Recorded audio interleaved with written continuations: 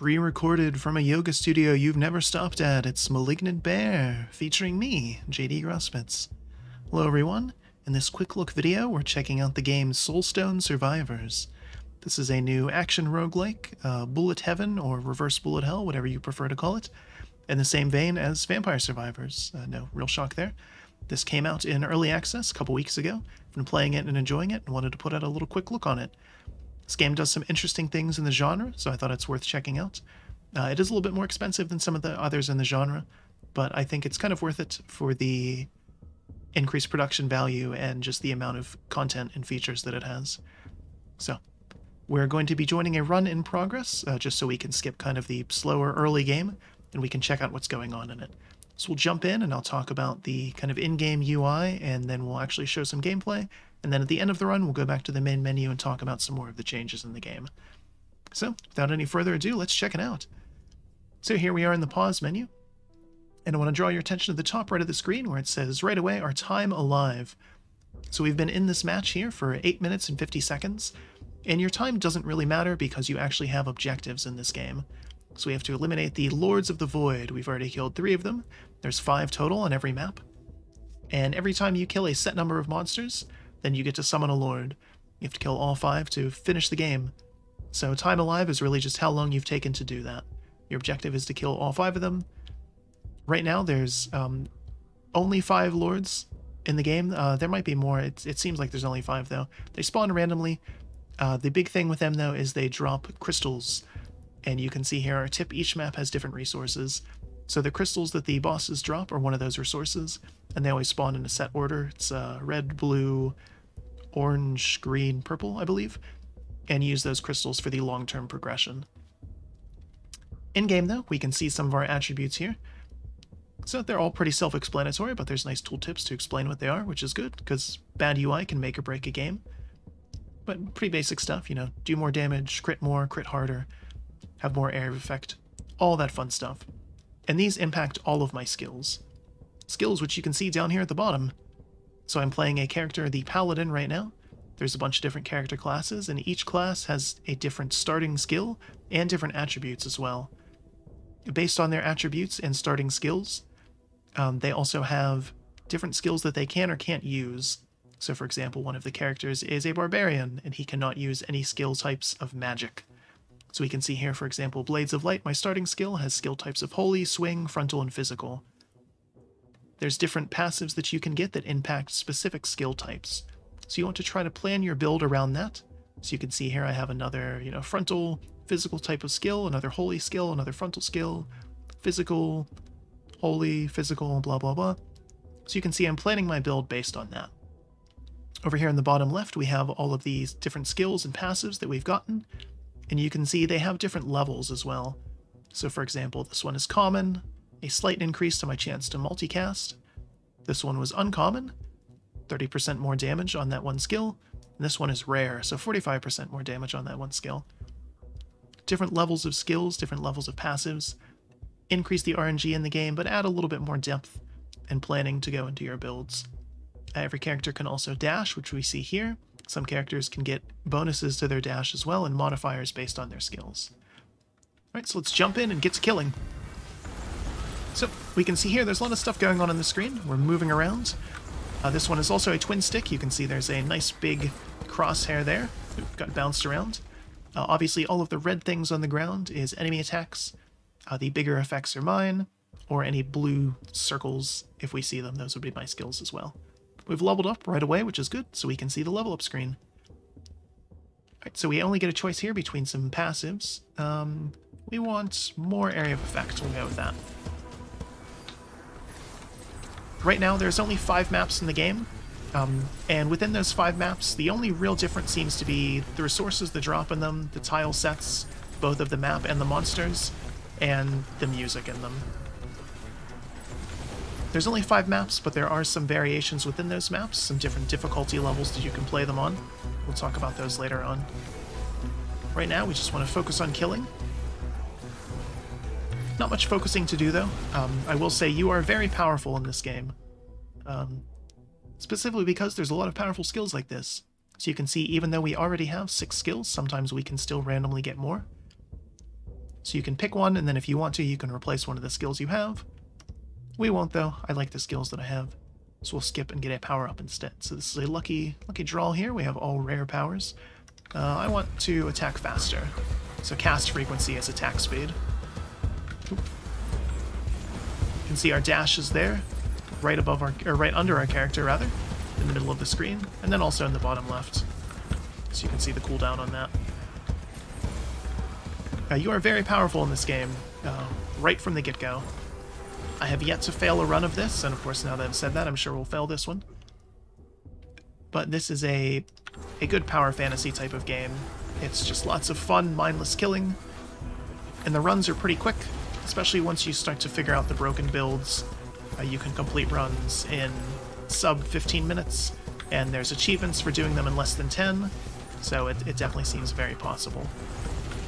Here we have the first boss that we're seeing on stream, at least, or on, on video, rather. So used to that. So we got randomly the Plague Lord boss. He's summoning up plague stuff. Still leveling up as we fight him. See all the enemies, though. They have little health bars um, as we're damaging them, and they get little icons for different debuffs that they might have. So we've killed him. We want to collect the green crystals that he dropped. Be sure to avoid all the other crap that's around it. Eliminate monsters to summon a lord. Um, not interested in any of those skills. Increase your area modifier. Yes, we want more area of effect. So there's lots of little crystals around. The yellow ones are health. Um, then we naturally get other ones for killing people. Those are minor soul gems that go into kind of our long-term progression that we'll see. And then the crystals we get from killing bosses, same as the, with that. And then there's the green health crystals sometimes as well.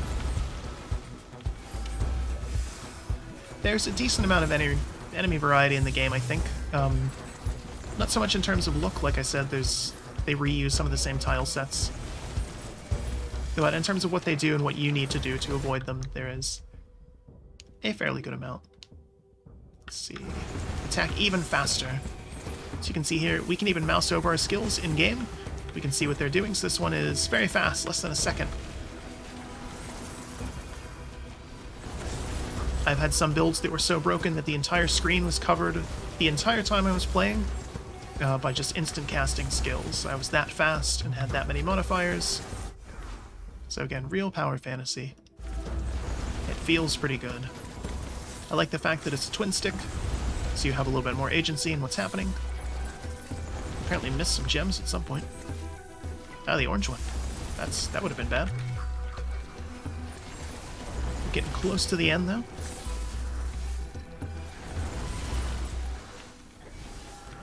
Keep killing stuff, keep bouncing around, collecting things, leveling up. Later on, you can unlock the ability to re-roll your level ups, as you can see, or banish specific powers that you don't want to see anymore. I don't have any of those yet. Uh, even faster. It's like we might have capped out on how fast we can go. Which is, admittedly, quite fast. Uh, some skills will buff allies, which is interesting. Uh, there is no multiplayer in this game as of yet. I don't know if it's planned. Uh, there are some skills that summon various, you know, pets and monsters and things to help you, so they buff those as of right now. But I think this game would lend itself well to multiplayer. There'd have to be a lot more enemies on the screen, but...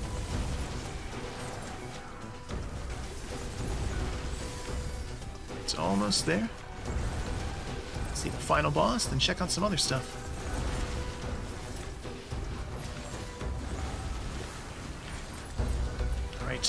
Fire giant.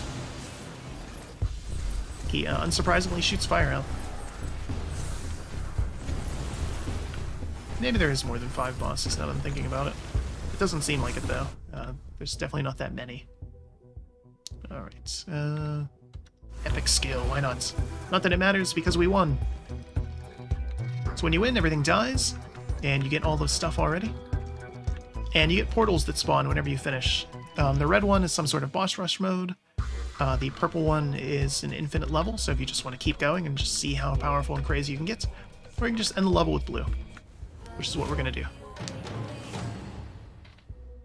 So whenever you finish a level, you can see all of your stats and details. So how much damage your skills did, the different soul stones that you collected, the materials, the prestige you've earned, all of your stats there, your final skills there. So we've leveled up the paladin. Every character in the game has different levels, and we'll see what that unlocks in a little bit. There's more details as well if you want to see that. But we'll head back to the menu. Alright, so here's the character we just played as. And back in the menu, you can see the specific stats that he got and the different runes that you can equip. So we don't have any of those yet, but I'll showcase those later on. But here's all the different characters in the game. There's quite a few of them. And like I said, each one has different weapons, so you can see that determines their starting skill. Some characters can also craft additional weapons, which changes their starting skill and some of their stats. So for example, we have a melee-focused character, the Barbarian, a caster, the Pyromancer, the Houndmaster was all about explosives. I liked that one a lot. I haven't done the Spellblade yet, but seems pretty self-explanatory. And some of these I haven't unlocked, so we can't even see what they are. But uh, I did a run as the Sentinel. This was all arrow-focused, arrows and projectiles, and then we just did the Paladin. So you can see they have some other unique skills, and these are the skill types that they can actually use. So, no projectile types or explosives for the Paladin, but he gets plenty of other things. Here's all the different soul stones that we have and those can be used here at the blacksmith. So if, for example, I wanted to craft the other weapon for the Houndmaster, I could do that. And you can see it gives us a different starting skill here than the one that he had, and some different stats. And those take some of these materials that you can collect by doing runs. Outside of that, another long-term progression thing is the skill tree here. So pretty standard stuff, you know, you can go a little faster, have an increased pickup range, higher cast frequency, blah blah blah and these cost not only the soul stones, the minor ones, but also these different colored ones as well. The big thing that you want to do here is get up to 50,000 like we just did to unlock runic power. And that increases the runic power of all of your characters by one, and this is a permanent thing. You can see here, now it's going to take 10 of these vile soul stones, so we can't increase it any further. But that unlocked this new thing, which is runes. But of course we don't have any runes unlocked, uh, because this is the other long-term progression thing in the game. So you have to earn different achievements and do different things to get these rune stones, and then you can only equip a certain number of them, but they sometimes buff specific characters, I'm assuming, based on these. So for example, this one you have to do reach level 60 with the Paladin, or finish a match in 12 minutes. And then you have some more common ones here, you know, kill 3,000 elite enemies. You can only equip a couple of those at a time, but plenty of things to work towards and grind towards as you play the game. Lots of achievements in the game right now as well. And more coming, I assume, because not every character has weapons, and they can always add more achievements as well on top of that. Last but not least, we'll check out the actual different maps. Like I said, there's only five of them right now, but there's still a decent amount of variety within that. Because you have the curse system, so you can make the matches harder for yourself if you want to, and as you do that, if you successfully finish these curse missions, then you unlock higher difficulty levels and new curses as well. So that's how you get some of the other achievements and some of the more long-term progression. Like I said, the base game is pretty easy, which is good. It's a nice introduction to it to kind of get you in there and having some fun. But then you can ramp up the difficulty as you see fit to help you unlock further things for the long-term progression. I've been having a lot of fun with this. Uh, I think there's plenty of depth to it.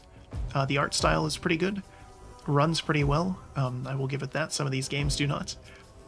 And I think there's plenty of things to see and unlock and check out here, and potential for them to add more as well. Uh, these devs are also working on a more traditional roguelike game um, with this within this same universe, same art style, same characters, I would assume.